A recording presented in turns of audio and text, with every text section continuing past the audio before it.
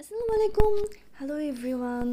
Welcome, good people, in my channel Most Dramatic Moment. আর এখানে আমি আপনাদের সাথে একটা লিটল ফ্লাওয়ার ডে শেয়ার করছি আর আমার নাম সাদিয়া খন্দকার মৌ। আপনারা আমার এই ব্লগটা আমার পেজে এবং ইউটিউবে দুটো জায়গায় দেখতে পারবেন। চাইলে সাবস্ক্রাইবও করে ফেলতে পারেন। আর এটা ছিল অবশ্যই সাভার বিরুলিয়া গোলাপগ্রামে এবং দিনটা অনেক মজার ছিল।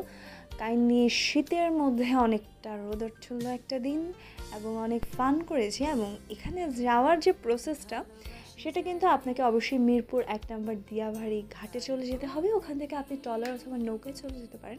বেস্ট অপশন টলার যেহেতু একটু যেতে টাইম লাগে, নৌকায় একটু লেন্দি। তো এই তো আমরা গ্রামে মানে গোলাপ গ্রামে ইন করে ফেলেছি। তো এখানে প্রায় অনেকগুলো হচ্ছে, অনেক ধরনের আলাদা আলাদা বাগান আছে এবং এখন নতুন নিয়ম করেছে। আগে কোনো বাগানে ঢুকতে টাকা দেওয়া লাগতো না, এখন জন প্রতি পঞ্চাশ টাকা দেওয়া লাগে।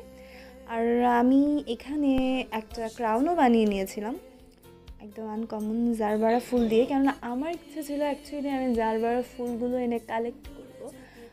তো জারবারা ফুলের অ্যাকচুয়ালি ক্রাউনটা অনেক অন্যরকম লাগে, একদম বড় বড় যেহেতু ফুলগুলো। আর এখানে তো দেখতেই পাচ্ছেন যে কতটা সুন্দর এই জায়গাটা। আই মিন মাঝে মধ্যে ওই যে দুবাই গার্ডেনে অনেকের ব্লগ দেখি না? বাংলাদেশের মধ্যে যদি একটু ফ্লাওয়ার ফুল জায়গায় যেতে হয়, গ্রামের ভাইবের জন্য বলব গোলাপ গ্রাম, অথবা বোটানিক্যালেও যাওয়া যায়, গাছপালা অনেক আছে, কিন্তু গোলাপ গ্রাম ওনারা বলল যে ফেব্রুয়ারি মাসটা নাকি যে ওনারা এরকম পঞ্চাশ টাকা করে পার পার্সেন্ট নিচ্ছে প্রত্যেকটা বাগানে ঢুকতে দেওয়ার জন্য, ফেব্রুয়ারির পর থেকে নাকি নেবেন। আর বিকজ দ্য রিজন এখানে গোলাপগ্রামে যাওয়ার যে সিজনটা এইটা কিন্তু মেইনলি হচ্ছে শীতের সময়। এখানে বিভিন্ন ছোট ছোট দোকান এখন আছে। আগে এতগুলো ছিল না। আগে কোনো খাওয়ার মতো একটাই মেবি দোকান ছিল যখন আমি গত বছর গিয়েছিলাম। কিন্তু এইবার দেখা যাচ্ছে ভালোই উন্নতি করে ফেলেছে এবং মানুষ অনেকে এখানে যায় এবং অনেকে গিয়ে মানুষের বাগানের মধ্যে নাচানাচি শুরু করে and they do harm actually আমাদের প্রাকৃতিক পরিবেশটা এনজয় করা বেটার কারও কিছু হার্ম না করে actually whatever their choice এই যে আমার ক্রাউনটা মেকিং হচ্ছে জারবারা ফুল দিয়ে। আই লাভ জারবারা ফুল। আমার গোলাপের থেকে জারবারা ফুল অনেক বেশি পছন্দ, তাই কিন্তু আমি জারবারা দিয়েই করেছি ক্রাউনটা অ্যান্ড এই দোকানটার মধ্যে আমি কিছু ছবিও তুলেছি। And look at this shop look like tiny little garden I mean বিদেশে আমরা দেখি না, অনেক সুন্দর সুন্দর ফ্লাওয়ার দোকান, তো কাইন্ড অফ ওরকমই মনে হচ্ছিল।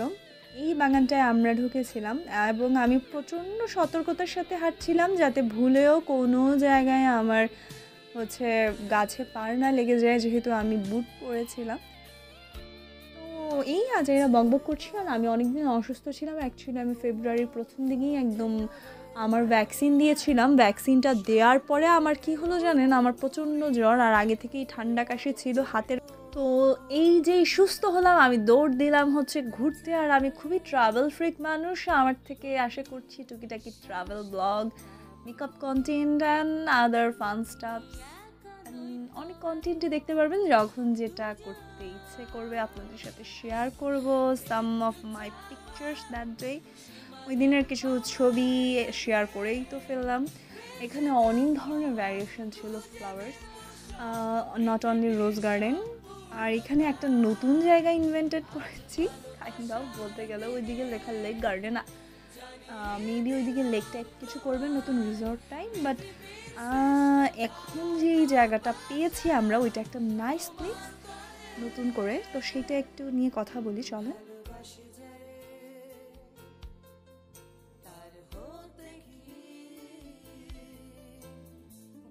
পিছের দিকের এই জায়গাটা একটু হেঁটে গেলে, উঁচা জায়গা থেকে একটু নিচে নামতে হয়। নিচে নামলে সরু একটা পথ, একদম গ্রামের মতো মেঠো পথ, উপর থেকে গাছ, দূরে মনে হচ্ছে পাহাড়, একটা গ্রামীণ ফিল পাওয়া যাবে। এই জায়গাটা একদম হাঁটতে হাঁটতে গেলে, তো জায়গাটা কিন্তু বেশ সুন্দর লেগেছে আমার কাছে। আর এখানের গাছগুলো এত সুন্দরভাবে বাতাসে দুলছিল।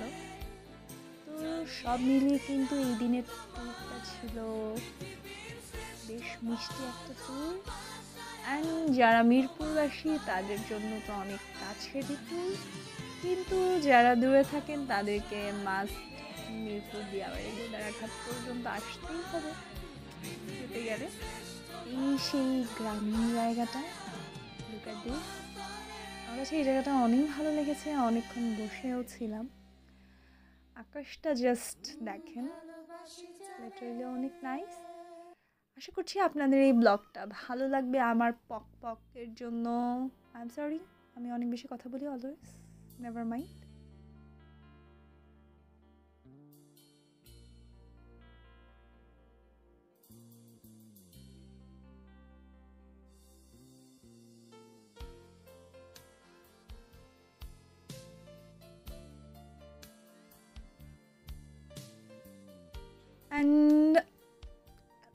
আমরা ব্যাক করছিলাম কাইন্ড অফ ফোর থার্টি এটা হচ্ছে ব্যাক করার সময় অনেকগুলো পাখি উঠছিল, এটা ক্যাপচার করার ট্রাই করছিলাম। সন্ধ্যার দিকে একদম যে ঘাট থেকে আপনাকে উঠে যেতে হবে, সেই ঘাটটা এটাই। আল্লাহ হাফিজ, আমার নেক্সট ভিডিওর জন্য ওয়েট করেন, টাটা!